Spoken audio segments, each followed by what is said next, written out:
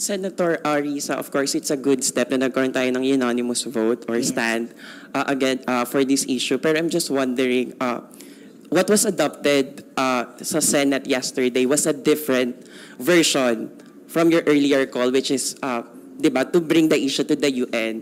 Pero yung inadopt na version actually was strongly condemning uh, yung uh, incursion, yung harassment, and then naging isa lang sa mga options yung earlier call nyo. So ano po yung nangyari siguro na compromise or if may pwede kayong i-share, nagkaroon ba ng mahabang back and forth, ano yung naging mood during uh, this uh, uh, executive meeting? I felt almost from the beginning, the mood was papunta talaga sa intention na mag-adopt ng resolution. And hindi siya malayo at all.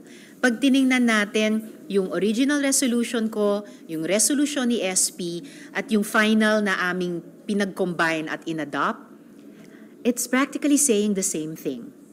Ah, andun pa rin sa final ah, resolution yung pagkondena sa mga aggressive actions ng China laban sa atin, sa ating teritoryo.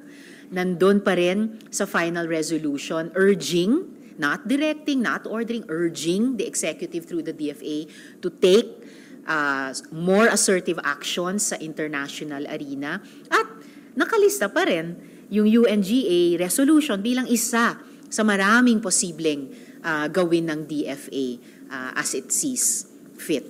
So, ah, halos halos pareho. Nag-evolve lamang sa pamamagitan ng ah, caucus, yung paghingi pa ng dagdag na inputs ah, mula sa executive na kanila naman din sigurong ah, gagawin once transmitted na sa kanila yung ah, resolution. Dahil kumbaga nasa shop na nila iyon.